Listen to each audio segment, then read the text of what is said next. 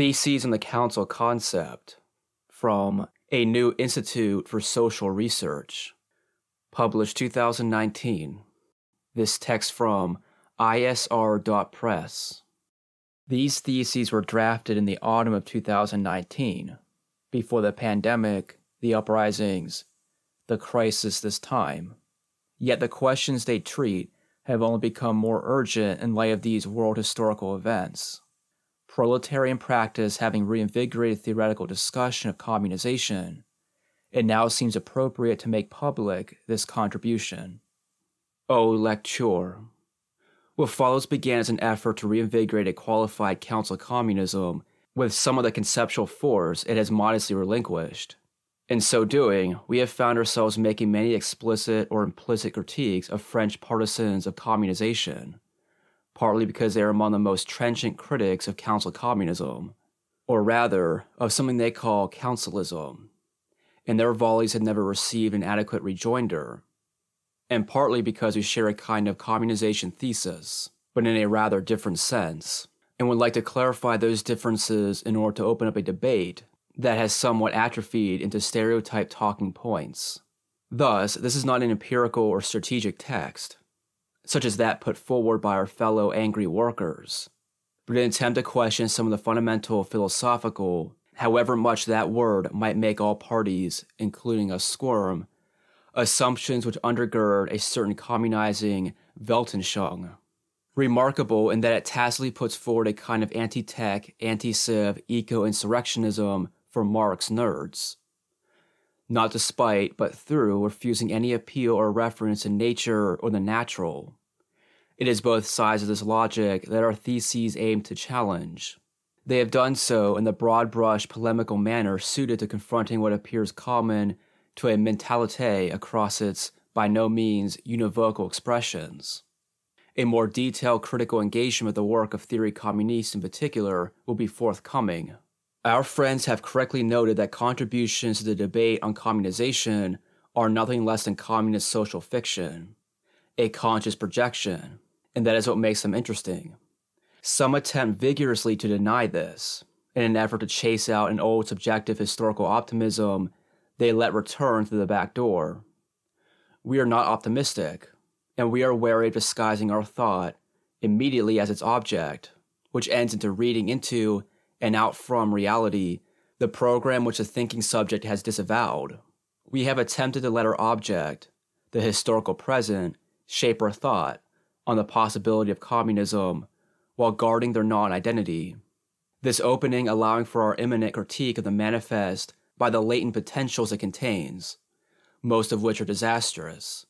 Miserable times, like an inexorable typhoon, bear down upon the damage and weakness, but also the spontaneity of the subject. We thus hope to return thought's speculative moment, its critical self reflection, to the debate on communization, which we can only rationally understand as communism in the conditional tense. It is there that we find the council concept, not in the past and perfect. Quote, the forms of humanity's own global societal constitution threaten its life if a self conscious global subject does not develop and intervene. End quote, from Theodor W. Adorno. 1. The ideas of council communists have had a considerable influence on many in the communist and anarchist pro revolutionary milieu, an influence which can be observed today, perhaps most of all, in discussions of communization. At the same time, a willingness to acknowledge and associate oneself with, or perhaps even a clear awareness of, the affiliation of these ideas has largely disappeared, along with organized groups of council communists. This fact requires neither bemoaning nor defense. Consistent with their theory, such ambient diffusion, as well as many independent arrivals at similar notions, represents a strength rather than a weakness it is really only of antiquarian or pedantic interest that heretical breakthroughs and critiques of the workers' movement associated with, say, theory communiste can already be found in old International Council correspondence articles. Although it makes a mess of the former's too neat reflection theory of cycles of struggle and their corresponding theoretical horizons. We will satisfy such interest and draw up an assessment of the historical council communist tendency elsewhere. Here, we are simply concerned with taking up the one concept that, after everything else has been assimilated, remains indelibly associated with that tendency, the dregs in the drain cup of its theory, the council itself. 2. The thoroughness with which a council concept has been jettisoned is today often taken as a measure of a communist theory's historical adequacy and its overcoming of class affirmative residues. Hence, the situationist advocacy of the abolition of commodity production and the proletarian condition by and through the councils is supposed to be a mere aporia, nominalistically blamed on the muddled thinking of those straddling the historical fence between one cycle of struggles and the next, without considering that, to the extent to which their position registers a contradiction, it might be in the matter itself, the situation of a class that must transcend itself imminently. Alternatively, the councils in practice are opposed to the concept of the council. The former is an organizational form with its strengths and weaknesses that appear in particular struggles, while the latter supposedly hypostatizes the former as a dangerous formalistic ideology called councilism, which sees revocable delegates as the riddle of history solved, but lets bad capitalist content slip in as if there were a contingent rather than a necessary relationship between content and its form of appearance, and a capitalist content would not ensure the swift demise of councils, as it indeed always has. If one scours the historical record of council communist theory and practice, evidence both for and against its characterization will turn up. But that is not our task here. Our task is to take up what is living in the council concept for us today, to grasp and reconceive it, Ideas improve as proletarians think them for themselves. 3. The council is for us not a blueprint consecrated and valid for all time, meticulously patterned after the empirically existing councils, soviets, and committees that arose in all major proletarian revolutionary episodes in the first half of the 20th century, to be dug up and superimposed on all tomorrow's uprisings. It is neither an ideal to be realized, nor is it a free floating organizational form that can be stuck onto any content, an impossibility. The council is for us neither a political form nor an economic form, nor an amalgam of the two, nor is it really an organizational form at all, to be opposed to other forms, like, say, the party or trade union. The concept of the council discloses a relationship, or rather, the possibility of a relational process, and concepts which are basically shorthand for process elude definition. 4. Some might be tempted to say that the council is a principle, but communism is not based on principles but on history. The council concept refers not to an historical solution, but to an historical problem. Proletarians are separated from the means and conditions of their lives, which stand over and against us as an alien objectivity.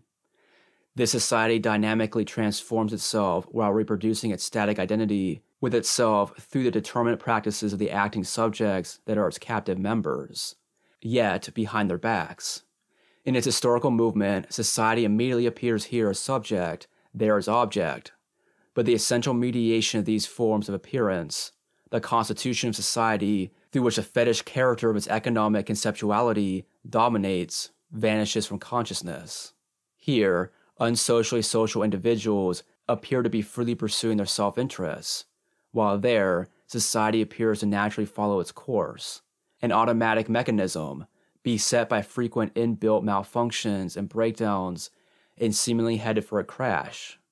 Behind this real appearance stands a seething web of synthesis, the exchange relationships of living for dead labor in the form of value, which conceal the presupposition as they posit it, the class relation of exploitation, the appropriation and accumulation of the labor time, in excess of that which is socially necessary to reproduce the means and conditions of life of the proletarians from which they have been separated. Capital, value valorizing itself, is man making her own monstrous domination. And this is the shape in which a blind, but increasingly less random negative world history emerges from a multiplicity of cyclic repetitions. And an increasingly abstractly universal world class society emerges from a scattering of caste bound communitarian despotisms. But to see the self movement of the negative totality of capitalist society as merely a one dimensional doom is to positively reflect its own ideology, when in actuality, it generates emancipatory potentials at the same time as it suppresses them. Thus, it moves in a continuous contradiction. To critique its real movement is to ask if, based on the premises already existing, there could be a conscious world history in a classless world society. To ask if and how any kind of social synthesis is possible beyond both the personal domination master castes and the abstract domination of the capital relation. This is the problem that poses the council concept, and the problem councils would have to pose. 5. It should go without saying that for us there is no a priori answer, least of all to be found in musty memories of 1919. But it is worrisome that the question itself seems to have been somewhat tabooed, at least among those who do not claim to possess the one true invariant program, etched into stone in 1848 or whenever. For many today, not this society, but the very notion of society per se, stands condemned by communist theory, alongside with history, humanity, subjectivity, consciousness, mediation, production, civilization, and of course, the council. For us, this is evidence of the retrogressive moment of the contradictory historical movement, which has also rendered obsolete, thankfully in our view, the political party aiming to capture state power and establish a republic of labor, the indefinitely prolonged socialist transitional society, class autonomy, labor time accounting, and the self management of the economy. If many communists have abandoned the former along with the latter, this may in actuality be because it appears very likely that they too are objectively doomed by the negative totality's progress toward hell. 6. However, the inversion of this bleak situation to a positive theory of communization as absolute but basically unconscious rupture, which heralds the dawn of a purely immediate community that knows neither subject nor object, nor necessity, nor labor, nor production, reveals a return of the very dubious historical optimism that communist theory has been so intent on repressing. However much stress is laid on the rigorous determination of the conditions of possibility of the production of such a rupture, by the actual historical development, the concept of the rupture itself remains shockingly normative, not to mention mystical. Its hypothesized success presumes a solution of all problems, even if a strict silence is maintained regarding the details of how such a solution might come about. The effective closure of history, rather than its opening up. It's deeply ironic that this theory has come the Trojan horse of the end of programmatism, because it in fact poses a very strict program, but modestly declares that the content of communism, as it conceives of it, is simply what the proletariat is already doing in the present cycle of struggles. Despite not falling into the error of assuming that the interests and the will of the proletarians are already unified at some objective imputed level, but only lacking unified expression, the theory of the immediate rupture assigns the task of such a unification to communization. Communism is to be, Thus, an essentially subsocial volonté générale shall emerge in its immediacy, somehow, come hell or high water. But an essentially subsocial volonté générale already exists. It's called the law of value. The immediatist conception of communization merely suggests the abandonment of a blind, unconscious dynamic in favor of a blind, unconscious static. Communization as simplification. Because we think this is neither possible nor desirable, we keep open the concept of the council. 7. We use the phrase concept of the council advisedly. The situationist Roussel once approached Information Correspondance Ouvrière, the council communist group from which theory communiste would emerge, and go on to win fame for the regulation school structuralism with Bordigo primitivist characteristics, with idealism for using just this phrase but it is those who pretend that study groups can debate the fine grains of revolutionary tactics in false concretion before the fact, as if they are forever fighting out the Second Congress of the Comintern, that are guilty of idealism. There are no councils at hand. We are talking about a concept, and we know it, albeit not one dreamed up out of the clear blue sky, but the conceptualization of a history of problems and the problems of the historical present. It is a way of talking about a wager on what may be necessary and possible, with absolutely no assumption that we will be delivered the realization of our concept. 8. Indeed, it is entirely possible that we will not see again councils recognizably like those that emerged in the 20th century revolutionary episodes. These may have been, as is often claimed, bound to an era in which proletarian struggles were primarily concentrated in large scale industry, despite the fact that, contrary to a certain workerist mythology often repeated by its alleged opponents, councils, Soviets, and committees were by no means exclusively or even primarily a product of the factory, but emerged in neighborhoods, districts, villages, and whole regions, as well as among insubordinate soldiers and sailors. Thus, many communists today have turned their attention to new organizational forms, such as the assemblies and camps that marked the squares movement and the pipeline blockades, as well as less organized forms of struggle like the riot, in an attempt to describe their content.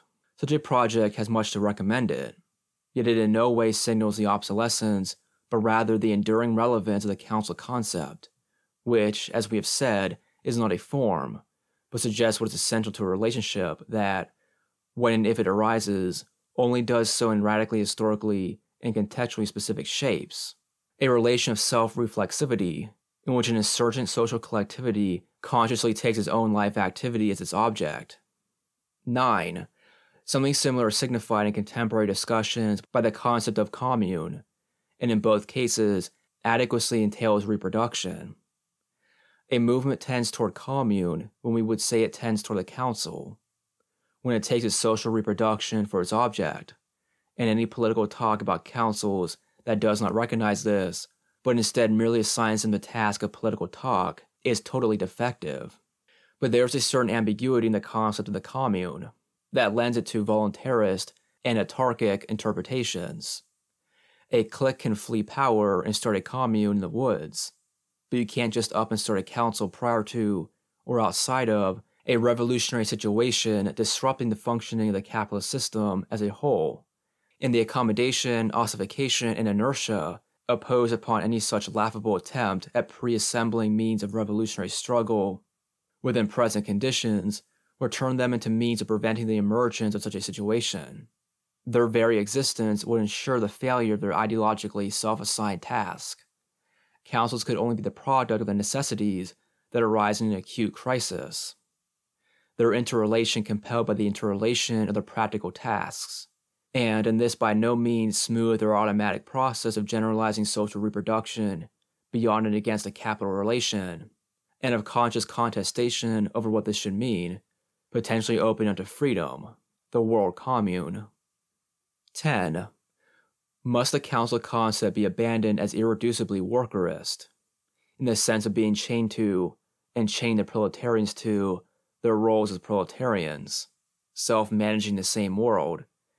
This is assumed by the theoretical horizon of the revolutionary struggles of the first half of the 20th century, and much is blamed on this imputed horizon, although it was never reached and scarcely approached, whereas the actual horizon definitely reached by almost every such revolution albeit often behind their own backs, though many knew they were making a bourgeois revolution, but only covered it up later to feed the people socialism in one country, was the elimination of pre modern elite castes and the capitalization of agriculture.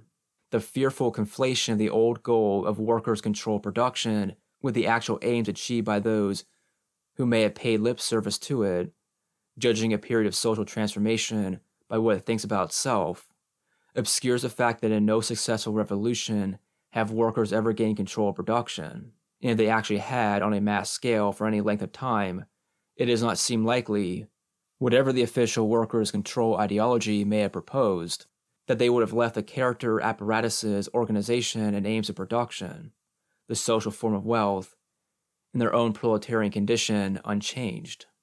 11. This is, of course, an ultimately trivial hypothetical conjecture, albeit a not unreasonable one in principle. Its point being that it is not the notion of controlling production, which as a generality has no meaning and can be neither celebrated nor condemned in itself, that spells doom, but rather the determinate social form of production then attaining dominance in actuality as a global system it always was in its concept. The fact is that, categorically, no one, not entrepreneurs, managers, bureaucrats, nor factory organizations, can control capitalist production, but are merely different character masks which carry it out, functions of their own apparatus of accumulation, which are more or less interchangeable, and change with the requirements of the latter's development, though factory organizations have rarely been allowed to assume or retain this function on any scale, so called self management often being a bone thrown to helpless and dying enterprises, precisely because they carried the greatest risk of disrupting the course of accumulation, or even instigating a process that would put an end to it. This danger being one moment in the increasing elimination, disaggregation, or automation of labor processes, which inspired and facilitated such attempts at workers' control.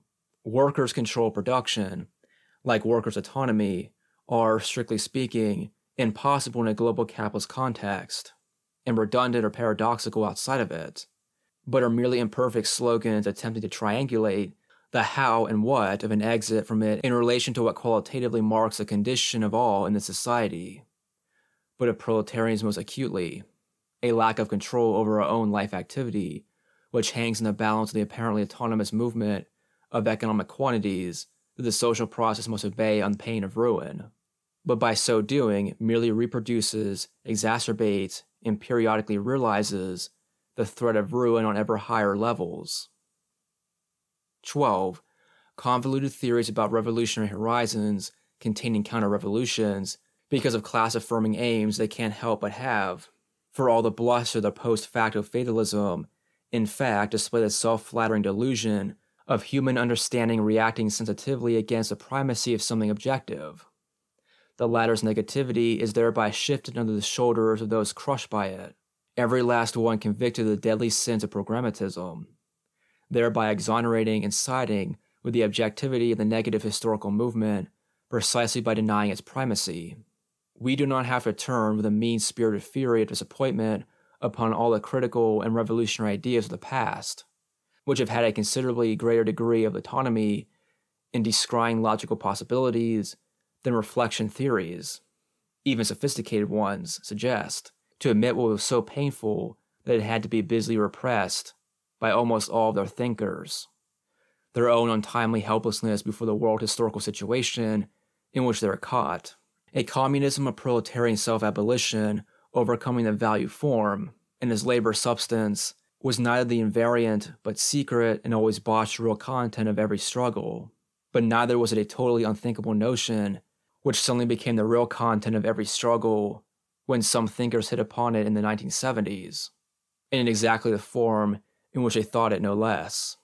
It was, shudder and prepare your insults, objectively impossible, or nearly so. And this view is not simply the confident assertion of 2020 hindsight, to which it is a tautologically obvious banality that whatever didn't happen couldn't have but informed by the contemporary estimations of those few brave souls who were able to face up to their lost century and its limits and blocks with melancholy and intransient clarity. To say so is not to deny that this objectivity has persisted, not only over and against, but through the actions of the subjects, nor to denigrate the strivings or thoughts of the latter, but merely to point out that for the majority of them, the only better life which they saw as possible to strive for was a capitalist one at times with red window dressing, even if a minority was able to see in it various more or less communistic potentials, for better or worse. In many parts of the world, contrary to the arrogant optimism of Western communists, giddy over destitution, this is still the case, even if the global system can less and less keep its dubious promises as it increasingly undermines its own possibility. 13. The real movement, which has been abolishing all the states of things, that were once present is crisis ridden capital accumulation, pushing and pulling itself along a struggle and competition and war and revolution, which drags along some communism as a weak surplus and negativity due to the contradictory non identity of wealth and the social form with which it is identified. Value, which in turn casts its shadow onto the former, form determined as only those use values it can use it is the increasingly monstrous moving disjuncture of wealth and value that racks the class which must subsist and sometimes struggle with their constitutive crux, flinging relatively greater portions of it into superfluity and threatening to tear it open. The content which might fill such an opening is not given, precisely because it would be a fracture in that which posits society in the given form of the economic object. Though it is from the latter which it would acquire the determinations of its negative work, and which would be set against it with a titanic pressure, principally concentrated in its state form, desperately seeking to seal the cracks. A sober look at the forces of the state, in a state of what could only with tremendous presumption be called the proletarian forces, should disabuse anyone of the assumption, whether hailed or bewailed, that an open theory of crisis and revolution logically leads to a demagogic, hurrah spirit sanguine effusions over the ubiquity, creativity, and might of so called resistance. 14. There is no reason to believe that the council concept, which is essentially self reflexive responsivity to natural and social conditions in the process of their collective transformation by individuals, must pass away with historical conditions that delivered its actuality stillborn. To do so would be to dismiss as obsolete what remains painful because it is thwarted, yet may yield its truth content only later. The council is what in those conditions pointed beyond themselves, leading a spectral afterlife only as a concept, and a rather damaged one at that. It is not up to our theoretical scalpel to excise whatever class affirmative defects may yet mar it, but the needs, possibilities, problems, and limits of the present moment. The reasonable estimation that the latter will demand communist measures must not lead to the unreasonable assumption that they will be met with any. We cannot assume an identity of crisis and communization. Indeed, the far more likely response will be fascistic state crisis management measures, many of which are already unfolding, exterminating surplus proletarians, imprisoning them in concentration camps, or simply sequestering them in flooding cities while the dwindling global mass of surplus value is divvied up amongst an ever smaller clutch of rackets and their lackeys, who attempt to feed their people corporatist protectionist promises left and right, with more than a few swallowing them. The fact that these promises will prove to be more or less empty, and these measures cannot succeed in the long run, can be no consolation, as the species may not have much longer of a run. 15.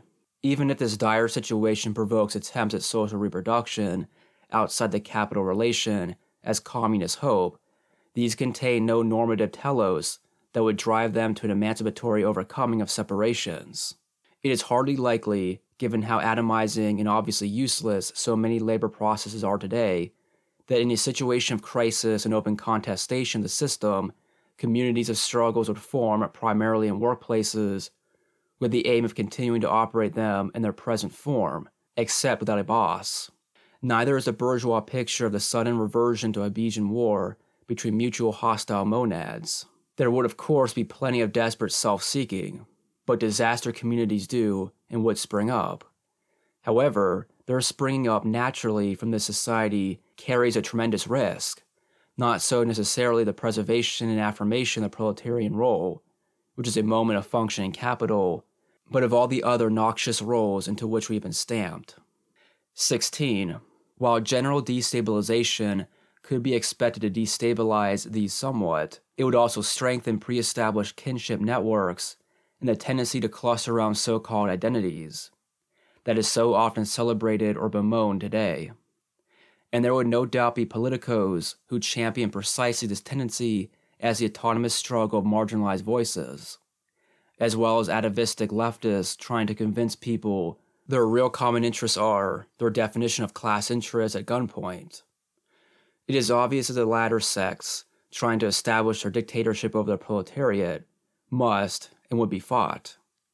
But if a revolutionary situation is dominated by the formation of whites only communes declaring themselves ethno states women born women only communes chasing out women born transsexual, communes of every nationality trying to assert their national sovereignty in miniature, communes of queer people refusing to share their food with anyone who doesn't use the right lingo, communes trying to seize and defend land they think belongs to their race based on some kind of onto-theological property rights, all de facto ruled by specialists in the performance and enforcement of these identities, and a homogenizing cohesion rooted in the mutually suspicious, resentful, conformist, and authoritarian group dynamics readily observable amongst main products of society. It will degenerate into a race to see if it can starve itself or terrorize itself out of existence first. The attempt to establish minimal self sufficiency would reinforce and be reinforced by this kind of narrow, quasi feudal communitarianism. And if it remained limited to the seizure and distribution of resources ready to hand, every other commune would appear as a limit and a threat to be defeated and plundered. 17. These conjunctures are not based on a gloomy view of human nature, but rather on the fact that material social interdependence today is constituted in the unconscious reified form of the exchange of money and commodities. Most importantly, the abstract labor power commodity, which form the real community, what appears as the ens realissimum of pseudo human sociality, the communities and identities into which we are slotted is, however much they are garnished with thought pictures of venerable and ancient heritages, itself a fetishistic yet socially objective semblance formatted after the real abstraction of exchange. Organically sedimented ties of personal dependence as a synthetic principle of the social reproduction of material life have been, at this point, almost everywhere severed. Today, the thought and practice of non identical individuals cut adrift from such ties are abstractly identified in the model of the socially synthetic exchange of like for like, white for white, black for black, etc. The non identical surplus disappears from the exchange and the social individuals vanish in their appearance as bearers of identities who relate to each other through their semblance of equivalence. Transactions can only be made with the bearers of different identities, as with the holders of foreign currency, via unequal exchange rates, so that attention becomes fixed upon competitively arbitrating these rates, while the principle of universal abstract equivalence remains incontestable. The logical consequence of the end of the exchange of human activity for things would be the end of humans needing an ossified, self identical image of themselves after the fashion of things. But this change in social practice could not be expected to determine a change in consciousness overnight, especially if no new form of social synthesis is sought, but rather identity is hoarded. The identity relations are real, as moments of the reproduction of the capitalist social totality, concealing and perpetuating their respective historical constitutions in relations of domination but their semblance of given and essential objectivity depends on the total system of synthesis which constitutes it behind the backs. Yet through the acts of its subjects, with the system breaking down, they would be exposed as potentially worthless and could only be maintained with more or less naked relations of force in open combat. 18. Council relations could potentially work as a counter movement to this disastrous paroxysm of identity logic and crisis, because it would start not from what we seem to be, but from what we need to do. And this will make us think. There are hard limits to maintaining social self sufficiency in the socio geographic context in which a communizing insurgency would be operating, since means of production that would be of any use, even if only provisionally, requiring reconfiguration or destruction in the long run to insurgents have been both highly concentrated and highly dispersed by the lean production methods of the global supply chain economy. It is thus highly probable that some kind of action committees would come together in order to seize means of transportation and communication and tackle countless other problems we cannot anticipate. And while these would gain next to nothing but a certain comfort that would soon prove deceptive and unhelpful by being established along the lines of performed identity, kinship, or community, they would be hampered in their vital tasks if they became preoccupied with cementing their own structure. Neither a hodgepodge of trust and prejudice nor organizational formalism will do.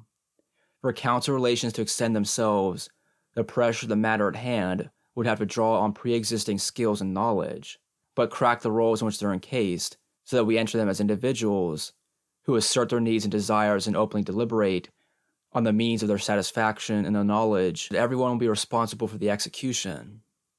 19. This is a way of relating socially to mediate the reproduction of material life that would have to give rise to its own adequate forms, which we could not diagram even if we wanted to. Not a pre given form, but a tendency to extension of consciously self mediating social life, which in its all embracing movement gives negation of politics and economy its determinacy. is what is essential to the concept of the council relation. The heterogeneity of the tasks, their planning and coordination by conscious debate and decision, rather than by reified and blind social averages or by bureaucratic command, and the radical character of the necessary transformation efforts would block attempts at measuring and calculating an exchange of life activity for means of life. And the success of the communizing effort would make such attempts obviously obsolete and irrational in the face of an abundance of all sided sociality, freely disposable time, and material wealth, which would stand in gigantic disproportion to the remaining productive activities deemed necessary, which could be so organized that they would be neither concretely one sided nor require the exchangeable form of abstract labor. But the possible emergence of council type relations in a generalized crisis cannot be understood as expression of an ideologically posited, abstract universality of class needs, nor as a drive to overcome the limit of class separations, but as a potential concrete universality emerging from the proletarianized individuals, qualitatively evaluating and pursuing their particular needs finding that they require large scale social interdependence for their satisfaction, but the reified and identifying social synthesis has broken down, and the given images of community are no substitute. So a new, conscious one would need to be painstakingly developed. 20. Only a movement of becoming could crack the crust of reified social being, which today bears down like a 20,000 pound force, threatening to crush us all the becoming social individual survival, much less their life, would depend upon increasingly taking in hand, as an open question, every aspect of their self production. The mediation of the metabolism with nature by social practice, and social practice by itself, which presently takes place over our heads. The domination of nature by society, perpetuating the domination of society over its captive members as a blind second nature, and vice versa in a vicious self expanding spiral, looming over us as a fatal doom. This cannot mean some mythic immediate identification of thought and practice, which would risk perpetuating the unthought repetition of the one sidedly instrumentalizing practices that presently doom us, but rather the mediation of practice by thought and their becoming, the beginning of a conscious history in which humans do not rationally calculate practices that make other humans' concrete life activities and abstract means to attain what is itself merely a means, money, thereby enslaving the entire species and its circumstances, its natural context, to the alien dictates of irrational ends in themselves, but rather individually and collectively determine what they consider rational human purposes and practices, and continually revise their determinations in response to the results which unfold, knowing themselves as educators and educated the coincidence of the changing of circumstances and self change, which presently spin apart in the night, remains the only rational conception of revolutionary practice. 21. The concept of the council remains oriented toward the possibility of humanity qua classless society as self determining subject, which mediates the primacy of its objective context without objectifying the relationships of its members in political economic forms that stand displaced over against them and reduce them to barriers of roles, rendering their individuality a mere semblance, modeled on the identity principle of an exchange based mode of production. It rescues the truth content in prior attempts of proletarians to act as subject, while disclosing that it is the proletarian condition itself which always returns its bearers to the object side of the social process, and thus their becoming subject stands in inverse proportion to their being proletarian, and could only come about through the process of abolishing this condition through the expansion of council relations, which increasingly embrace world society as a whole, as commune, that has no existence abstracted from and moving in contradiction to the individuals in the interplay of their social life activities. Such a process would be revolutionary class struggle in the sense of the becoming classlessness of the revolutionaries would wage war against the forces of class society, endeavoring to reclassify them, re identify them as bearers of functions in a political economic apparatus. 22. It is said that a great many of today's productive forces are so deformed by their value form that they will be unusable, self managed or not, in a process of communization. This is, of course, true of so much of the socially useless and environmentally destructive dead labor that we are compelled to work up and works us over daily. But how are we going to get rid of this junk? And who's going to do it? It seems likely that the proletarians would have to do it, this process being a moment of our self abolition. And this problem, say, how to safely dismantle the fossil fuel infrastructure, is the council problem, which we will not have the luxury of avoiding because communizateurs think it's still too much like labor. As much as we may like to surround it in Hegelian verbiage, which we think is entirely appropriate, the council problem is often the problem of taking out the trash. But then, spirit was never so grand as beautiful soul has made it out to be. 23. However, the perspective which attacks the traditional worship of the given productive forces retains a rather traditional and reified conception of what they are a bunch of bad machines to be abandoned as we happily go back to the land amidst civilizational collapse. But for decades, the most powerful productive force of material wealth has been the direct application of accumulated scientific knowledge to the production process. And it is precisely this that stands in moving contradiction to the production relations which posit relatively dwindling direct labor time as the only source of value, hence the ongoing, intractable crisis of valorization.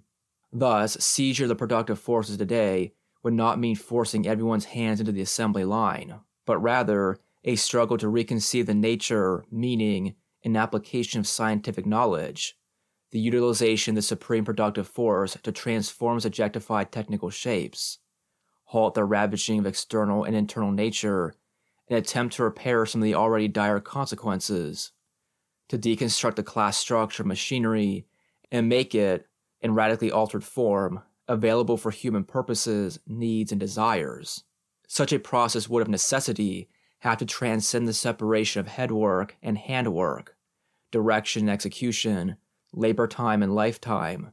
This could not be accomplished by a great and terrible simplification but by the extension of a more complex and, most importantly, more conscious form of social synthesis, which we provisionally call by the name councils. 24.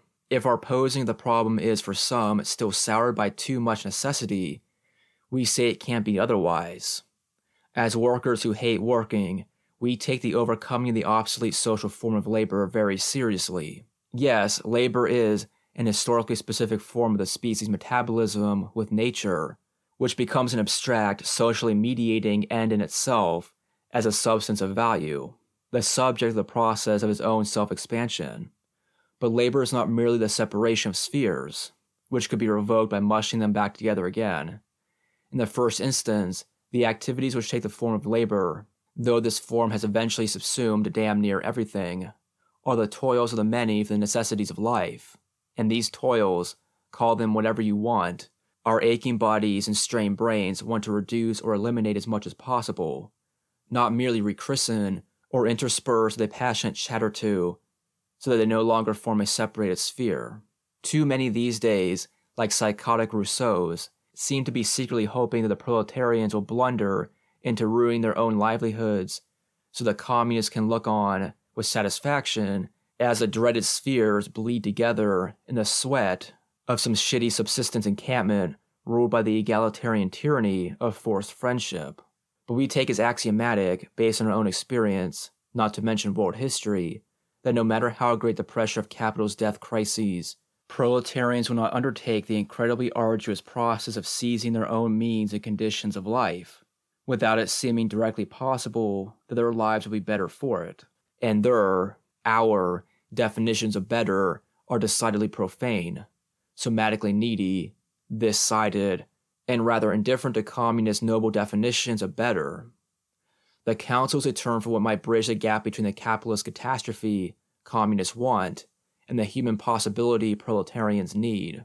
And if there is to be an overcoming of the separations on which capitalist society is based in a being in common of the species, then it can only be comprehended as a result mediated by the communization process, not immediately given as that process. Communism is surely beyond civilization, but if it is sought in the latter's mere destitution or removal, it will never be. 25. Central to the Council conceived as living relation has always been the process of deciding for ourselves what we're going to do and how we're going to do it, and then doing it.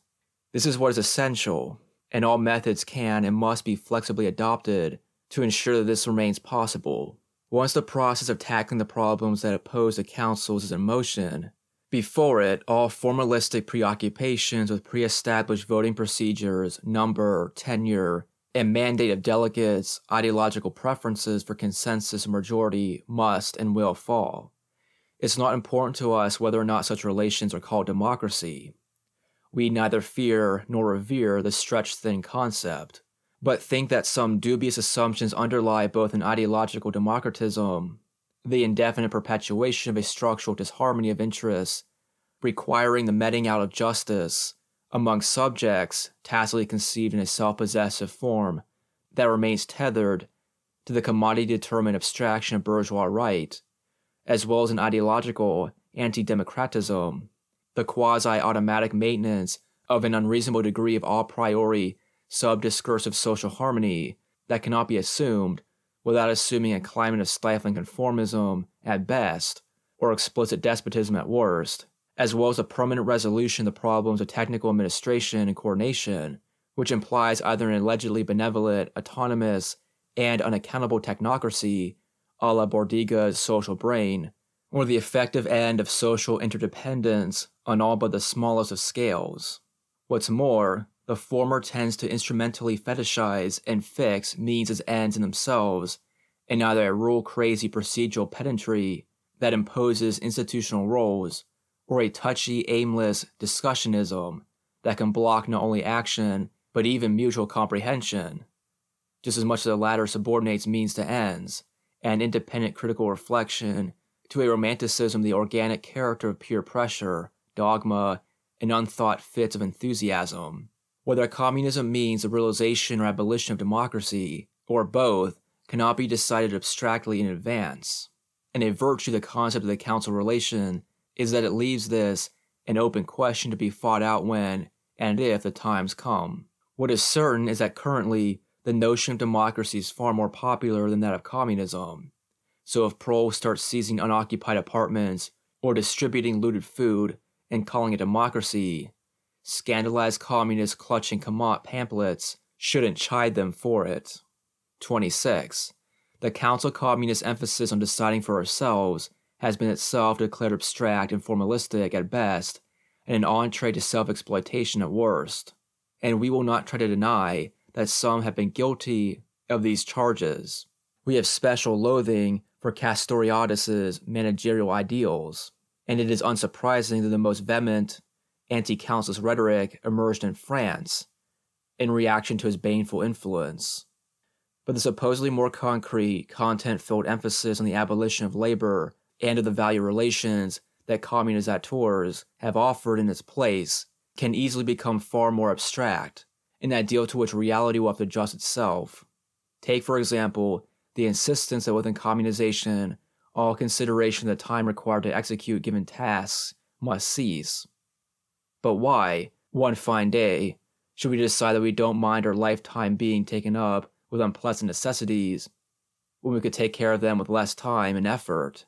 And generations of proletarians before us put their own time, brains, nerves, and muscles into means of production that allow us to do just that.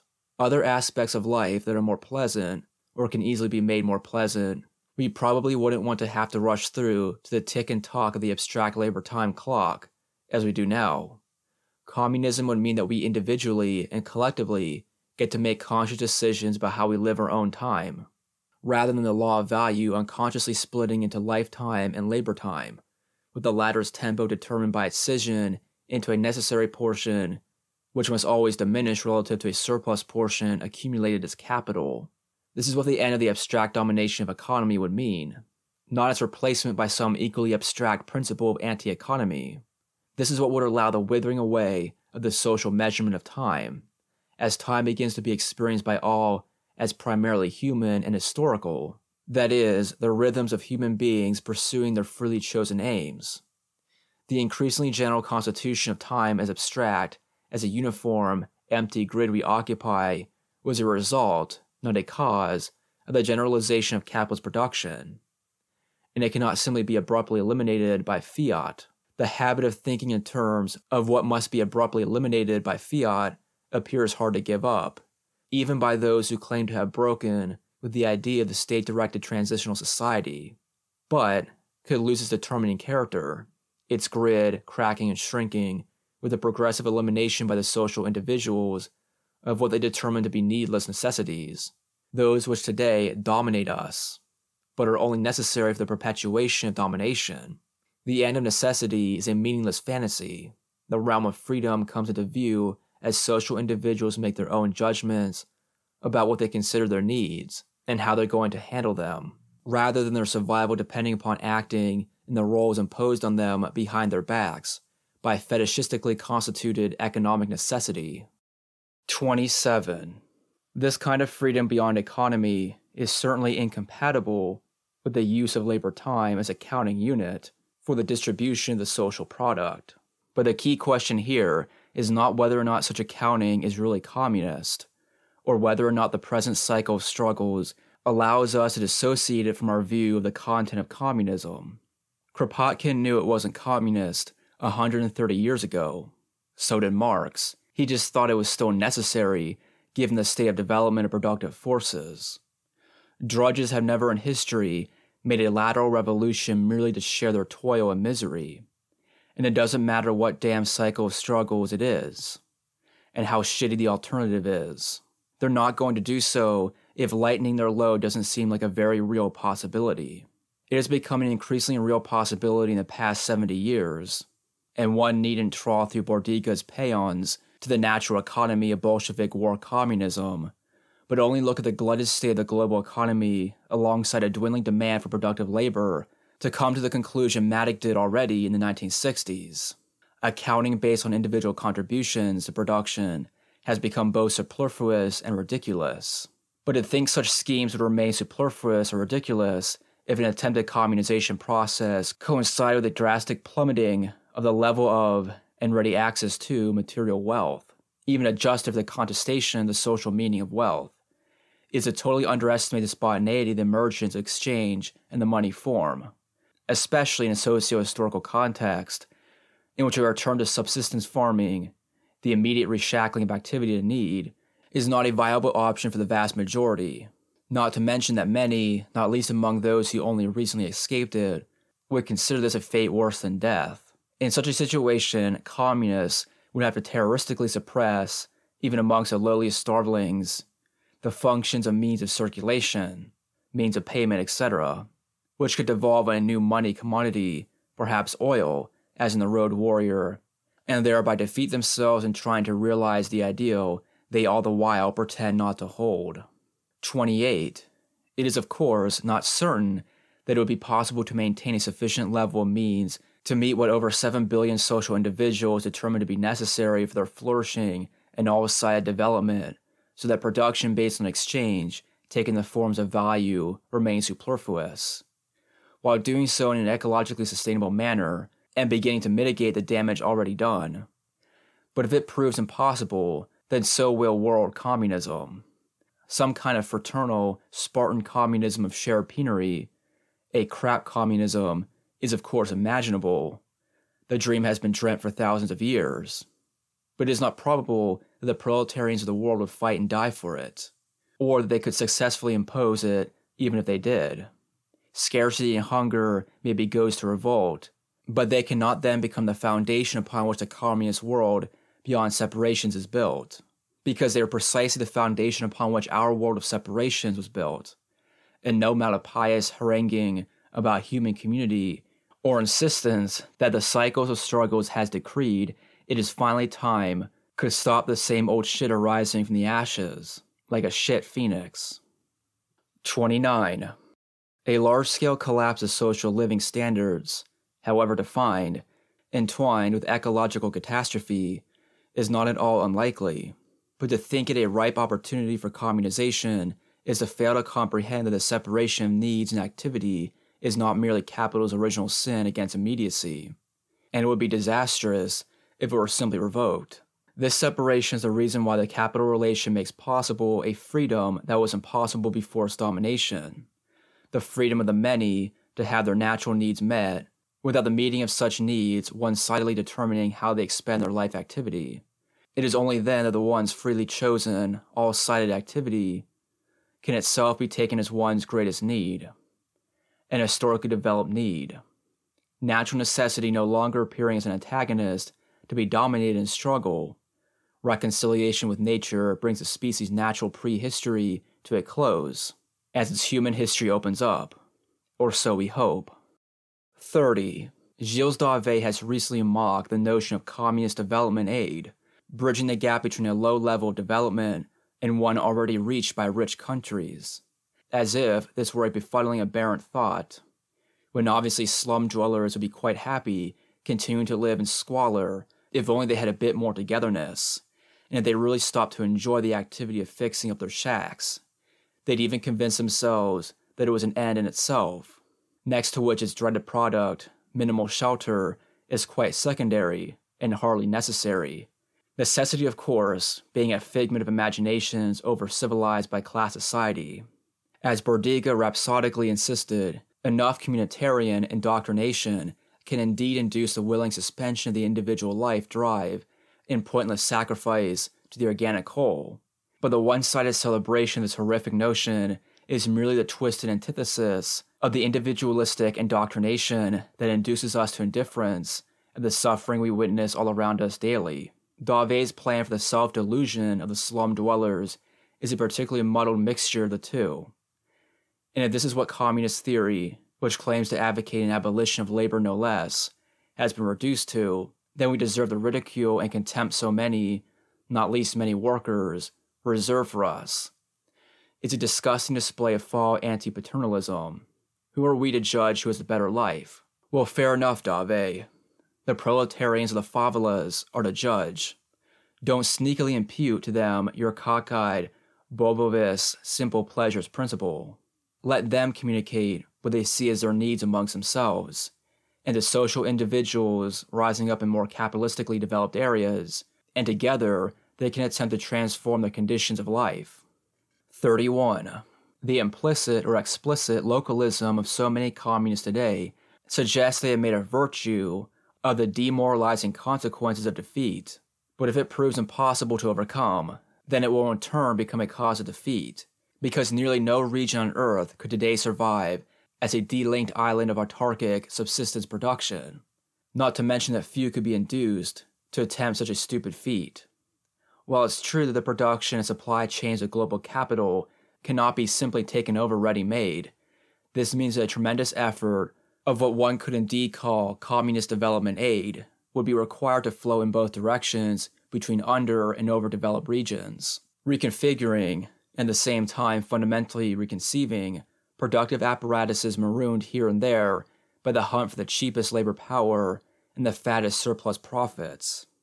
With the aim of reducing the long term, damagingly wasteful transport while maximizing world communication, liquidating as thoroughly as possible through consciousness of concrete historical interdependence, the narrow parochial bigotries that crises tend to strengthen rather than weaken. The need for such communication and transformation, for bottom up coordination without domination, on a massively federated, tending as quickly as possible toward global scale. In any thinkable contemporary revolutionary situation, with the capacity to spread, reproduce, and maintain itself beyond localized and easily crushed episodes, is a continuing actuality of the problem of the councils. The task remains to make transparent the dialectic of individual and species. 32.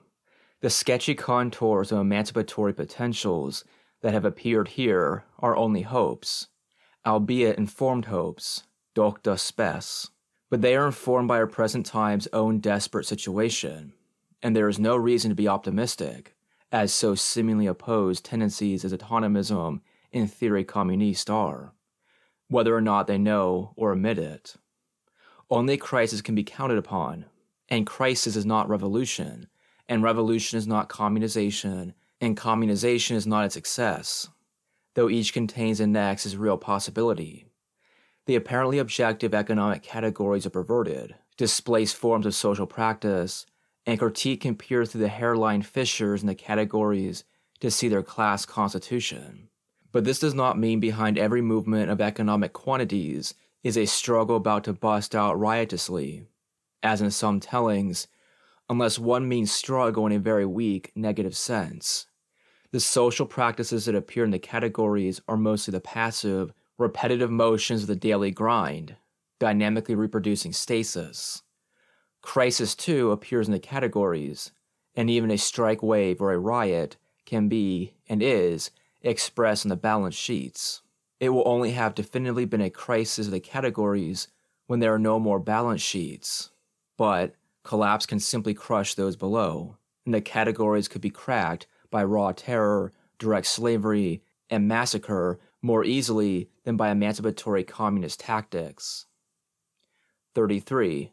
Activistic types will no doubt deplore us as objectivists for implying that there is not much we can do but wait for another catastrophic kick in the ass, while structuralist types will deplore us as subjectivistic, or humanistic, or something, for implying that revolution is an historical opening. Both have displaced contradictions in reality itself to the level of method, and therefore effectively trivialize communist revolution by denying just how radical of a transformation of social reality it implies, just as the emergence of capitalist relations radically transforms social reality. For the activists, revolution is just a final victory of an agency that was always there, plugging away, whereas for the structuralists, is just as strictly determined as everything else.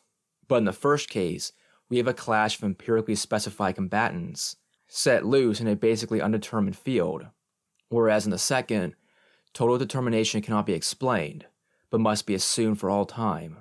Or, if it has an end, it must end in a totally determined flip of the switch to total indeterminacy, which is what we get from TC, the de objectification of the world, pure immediacy, and the rest of their nirvana. The apparent self movement of the social totality is not a principle of structural causality, hypothesized in the brain of the theorist, but is constituted by the historically specified social form of the species reproduction based on reified exchange of living for dead labor in the unstable form of value, which must expand itself to preserve itself. It is not simply something that rules over us, but through us.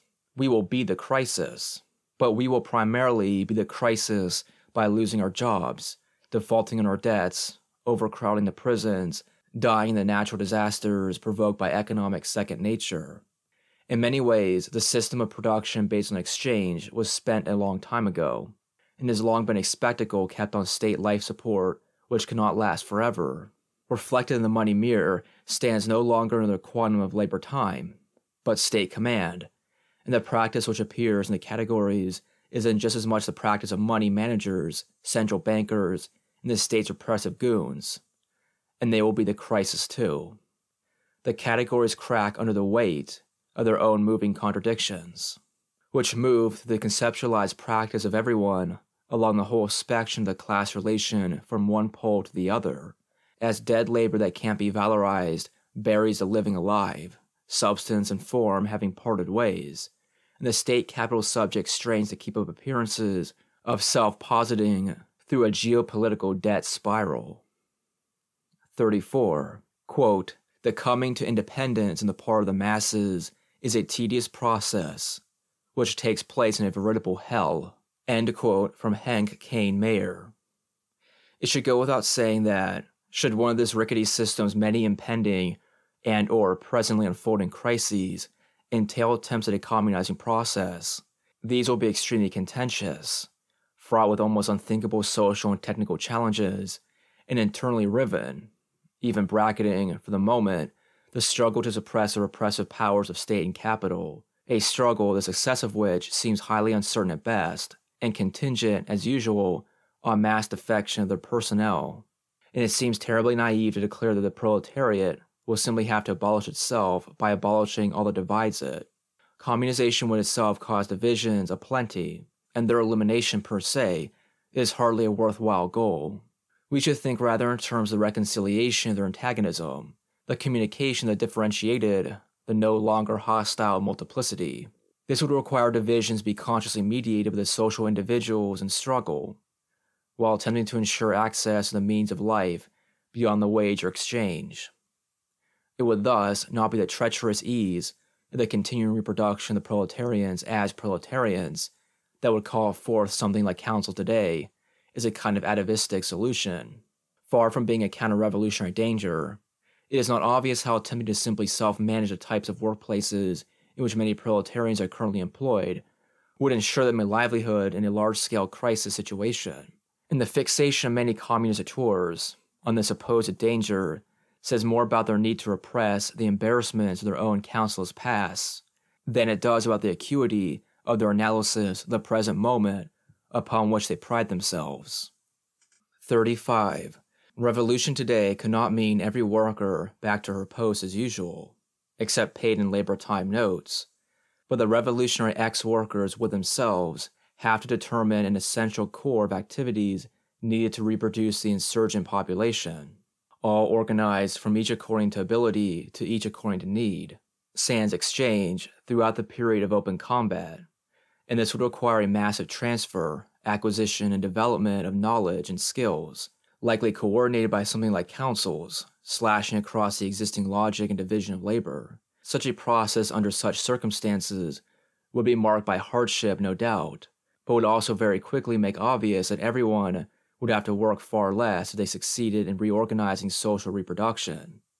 Indeed, they would no longer be proletarians, separated from their means of life, or workers, their lives depending upon or centered around whatever work they do which presently forms the substance of the unsocial social mediation, value. If communism is really seen as a process, then proletarian self abolition and the abolition of labor certainly must be too.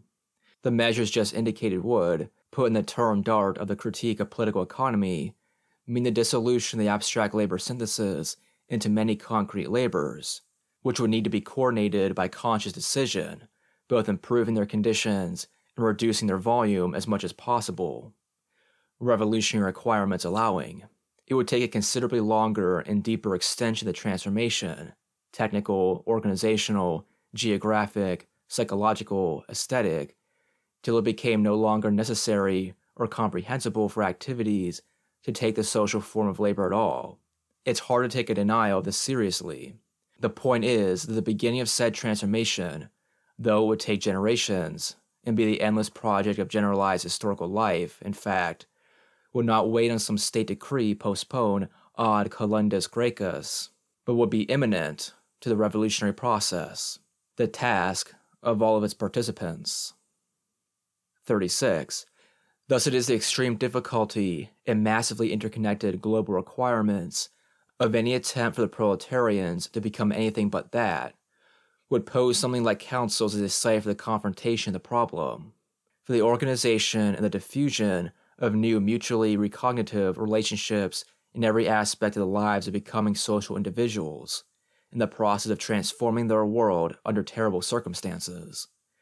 The self abolition of proletarians, as those separated from their means and conditions of life, would have to involve a moment of seizing technical means of production but also a second moment of negating their determinate social form, a reflexive utilization of the historically accumulated productive forces on the production process itself, so that not only its aims, but its technical shapes would be radically different, determined by the consciously elaborated needs and desires of social individuals.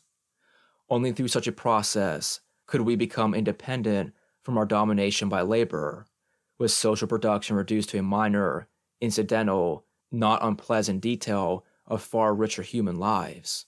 Yet when we attempt to consider how such a process could be undertaken, given the present geography of world class society's production and distribution, this society itself appears as a universal block, both within and outside of us.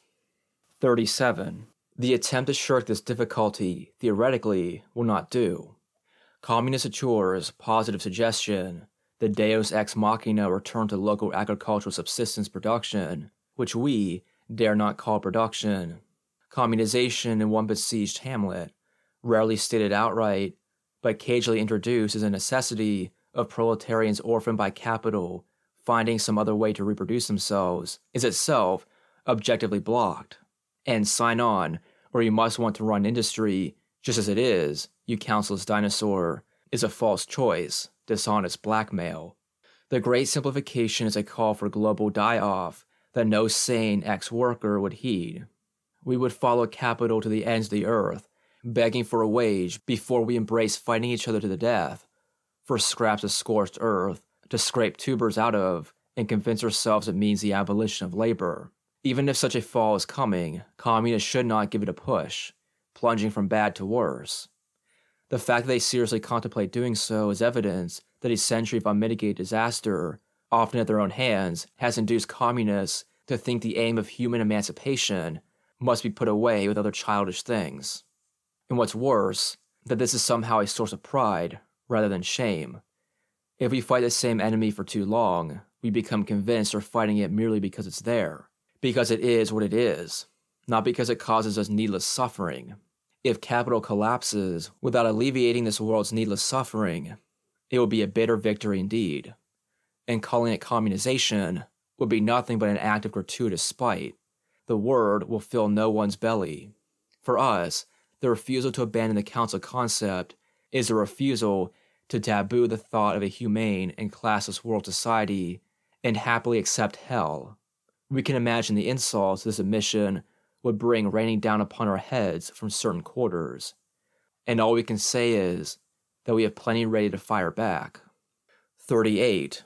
For us, the concept of the council should not be thought of as a mediation, in the strangely reified phrasing commonly heard today, complete with indefinite article, but as a process of self mediation.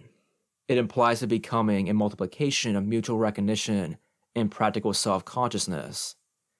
The workers ceasing to be workers and becoming dialecticians. But it cannot be the expression or realization of a pre given consciousness, either imposed by a party clique, disseminated by benevolent educators, or even patiently assembled by the proletarians themselves in advance. Though obviously, those who have struggled to keep alive some small degree of maturity and independence of critical thought tend to prove more capable revolutionists than a mass of deluded, dogmatic, and servile authoritarians. Most leftist militants and activists, of course, falling into this latter category. Revolutions have never gone according to a conscious plan, and we can safely wager they never will.